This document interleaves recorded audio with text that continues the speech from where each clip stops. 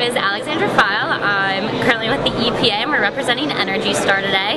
Energy Star is a government-backed program fortified by the EPA and DOE and we work to certify products to be energy efficient and energy saving. We work with homes, industries, commercial buildings um, and we work to just make a more energy efficient, sustainable future and protect our environment efficiency is really important because it's one of the simplest ways that people can save energy um, and also money and especially with sustainability these days um, I personally believe that helping people, if we can convince them that they can save money, then we can all work kind of towards a sustainable future and energy efficiency is a really great way to achieve that.